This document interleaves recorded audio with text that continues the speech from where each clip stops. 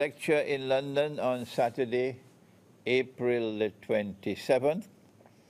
And this is for launching my book entitled Constantinople in the Quran. And you're going to see the book on your screen just now, the cover of this book, Constantinople in the Quran. Please put it on the screen.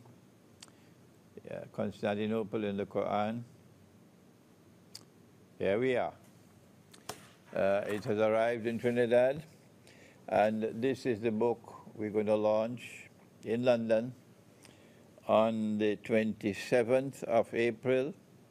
Um, Constantinople in the Quran explaining the destiny of Hagia Sophia, the Cathedral of Hagia Sophia.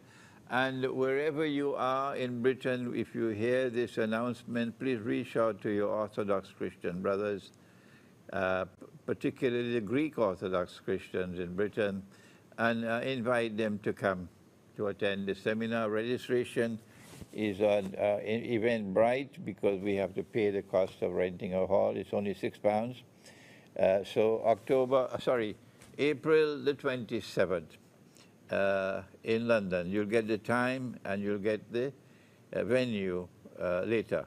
Please do register uh, and try to reach out to the Orthodox Christians in Britain to invite them to come to London on this occasion for the lecture on Constantinople in the Quran and the launch of this book and an explanation of the destiny of the Cathedral of Hagia Sophia.